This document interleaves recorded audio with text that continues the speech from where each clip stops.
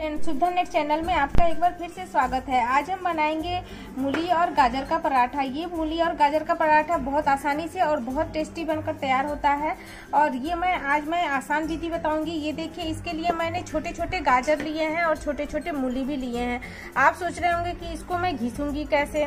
और क्योंकि ये तो गाजर और मूली बहुत ही छोटे छोटे हैं तो आप जब बाज़ार में अगर छोटे छोटे मूली और गाजर आ रहे हैं, तब भी आप पराठा आप बना सकते हैं। आप चाहे तो केवल मूली के भी पराठे बना सकते हैं, लेकिन अगर आप उसमें गाजर ऐड कर देते हैं तो वो बहुत ही टेस्टी बनकर तैयार होगा, और देखने में तो सुंदर लगेगा ही, और बच्चों को खाना बहुत पसंद आएगा। तो इस तरह से आप वेजिटेबल ये डालिए, ये देखिए हमने ये लिया है मूली। ये छोटे छोटे मूली है। तो ये मैंने मिनी कटर लिया है, नोवा का मिनी कटर है। इसका वीडियो मैं पहले भी डाल चुकी हूँ, ये मैंने ऑनलाइन मंगाया है। और इसका वीडियो देखने के लिए आप मेरे ये ऊपर आई बटन आएगा, उसको क्लिक करके आप देख सकते हैं ये इसका वीडियो।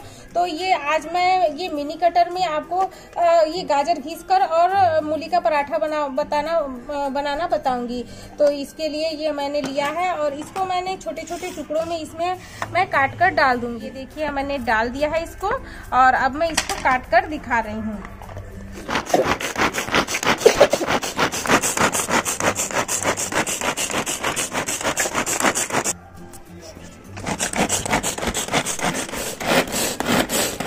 देखिए, ये अच्छे से घिस गया है। ये देखिए, कितना बढ़िया इसमें चॉप हो गया है और इसको बिल्कुल भी घिसने की ज़रूरत नहीं पड़ी पड़ी है और ये आसानी से ये घिस गया है। तो अब मैं इसको निकालूँगी ब्लेड और यहाँ पे मैंने आटा लिया है इसमें मैं इसको डाल दूँगी। ये देखिए कितना बढ़िया फाइन ये ग्राइंड हुआ है ये देखिए। तो इस तरह से आप इसको आ, मिनी कटर में काट कर और इसमें आ, ये मूली और गाजर का पराठा बना सकते हैं। अब मैं बताऊँगी अगर आपके पास ये मिनी कटर नहीं है तो आप किसमें आप ये मिक्सर का जार लेंगे और इसमें भी आप इसको काट कर एक दो बार चला लीजिए। बहुत अच्छे से ये आ, वो चॉप हो जाता है। ये देखिए। अब इसको मिक्सर के जार में डालकर और चला लें। तो ये देखिए, ये हमने जार में ग्राइंड कर लिया है और बहुत महीन नहीं करना है थोड़ा सा वैसे रखना है। ये देखिए, ये जार का पीसा हुआ है और ये है मिनी कटर का। ये मिनी कटर वाला कितना बढ़िया हुआ है, एकदम एक बराबर, एक साइज़ का ये कट जाता है। तो इस तरह से आप काट लेंगे और अब हम इसमें मसाले डालेंगे। तो ये हमने धनिया का पत्ती लिया है। धनिया का पत्ती भी अच्छे से महीन काट लेंगे।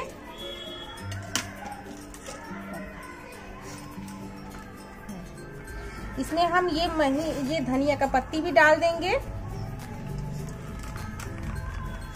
और इसमें हम डालेंगे एक चम्मच नमक, एक चम्मच अजवाइन, एक चम्मच गरम मसाला पाउडर, ये एक चम्मच, ये अमचूर पाउडर है, इसको भी ऐड कर देंगे। और यहाँ पे मैंने तीन हरी मिर्च महीन महीन काट लिया है, इसको भी हम इसमें डाल देंगे। अब हम इसको बिना पानी डाले इसको मिक्स करेंगे। हम, आप कोशिश करिए कि इसमें पानी ना डालें, क्योंकि ये मूली और गाजर का खुद का पानी जो होता है, वो उसी से ही ये आटा अच्छे से गूंथ जाता है। अगर ज़रूरत पड़े तो थोड़ा सा ऐड कर सकते हैं, लेकिन कोशिश करें कि जितना मूली और गाजर आप ले रहे हैं, उसी में आटा अच्छे से, आसानी से गूंथ जाए।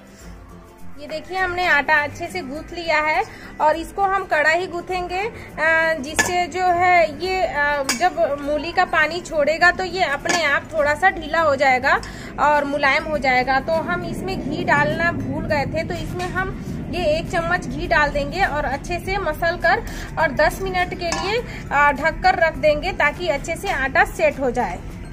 10 मिनट बाद हम देखेंगे हमारा आटा जो है अच्छे से सेट हो गया है और अब हम इसको थोड़ा सा और मत लेंगे ताकि अच्छे से मुलायम हो जाए। ये अच्छा सा मुलायम डो तैयार हो गया है। अब हम इसमें से एक लोई लेंगे। और इसको अच्छे से ऐसे गोल कर लेंगे।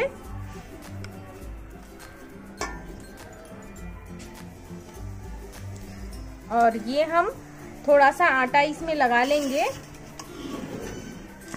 सा आटा लगाकर इसको बेल लेंगे और आप ये देखिएगा कि ये मूली और ये गाजर का जो पराठा है, कितना अच्छा फूलेगा। और इसको थोड़ा सा ऐसे बेलने के बाद हम इसमें थोड़ा सा ऑयल लगा देंगे। या आप कोई सा भी घी या तेल लगा सकते हैं। तो यहाँ पे मैंने ये लगा लिया है घी और इसको अच्छे से ऐसे फोल्ड कर लेंगे। इस तरह से जब आप पराठा बनाएँगे तो आपको पराठा एक तो किनारे से बिल्कुल फटा हुआ नहीं दिखेगा चिकना चिकना होगा। और फूलेगा भी। तो इस तरह से हम ऐसे इसको दबाकर, ऐसे बराबर कर लेंगे और फिर से इसको बेल लेंगे। ये देखिए कितना बढ़िया ये गोल हो गया है और कितना बढ़िया दिख रहा है। ये देख सकते हैं कितना अच्छा पराठा दिख रहा है। तो इस तरह से अब हम तवा गरम कर लेंगे और उस पर हम पराठा बनाना बताते हैं। गरम हो गया है। अब हम इसको पराठे को डाल देंगे तवे पर और एक तरफ़ सीखने के बाद हम दूसरी तरफ़ पलट लेंगे। जब तक ये सीख रहा है, तब तक हम दूसरा पराठा भी बना लेते हैं। तरफ़ सीखने के बाद हम ये ये आ, घी लगा देंगे और उसके बाद हम इसको पलट देंगे और पलट कर दूसरी तरफ़ भी ये घी लगा लेंगे। ये मूली का मूली और गाजर का पराठा हमारा बनकर तैयार हो गया है। ये देखिए कितना बढ़िया दिख रहा है।